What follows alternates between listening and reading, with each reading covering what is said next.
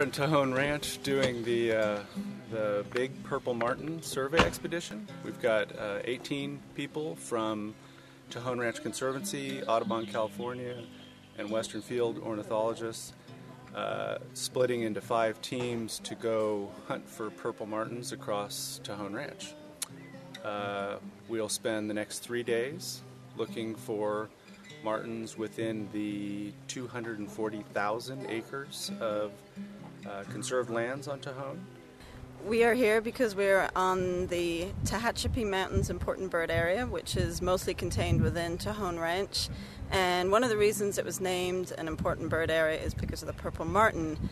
And uh, it was theoried that there was about 10% of the state population of purple martins here. Purple martins are a sensitive species in California, and we're pretty much at the southern end of their range here. A lot of the groups have found martins, um, but we're starting to hone in on the kind of habitat that they like out here, and where we aren't also finding them is also important information. Uh, we're really finding them in huge oak trees on these open slopes um, where they have sort of expansive views. Some of the places we've been surveying that we had chosen for plots where there's more dense oak cover or there are no oaks, that's the, those are the kinds of places we aren't finding martins. But the good news is that there are still martins on the ranch. Um, some of the survey teams have found nests, they've seen evidence of feeding young, um, which is a good sign. We know they're still breeding on the ranch.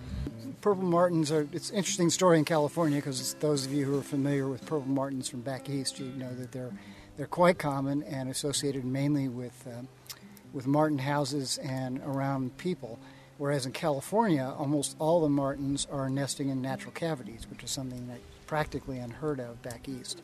Uh, up in the north coast, we got um, nesting in uh, big redwood trees and some of the other large trees and snags, uh, some extent in the Sierra, and then down here in the Tehachapis in these valley oaks.